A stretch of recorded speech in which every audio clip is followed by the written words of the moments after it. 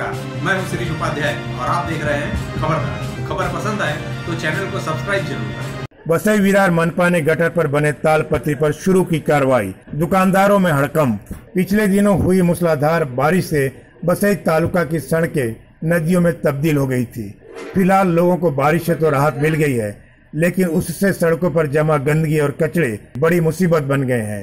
इसे देखते हुए बसई विरार शहर महानगर पालिका के आला अधिकारियों के आदेश पर मनपा ने शहर में साफ़ सफ़ाई तथा गटर पर लगे अवैध तालपत्री पर कार्रवाई शुरू कर दी है।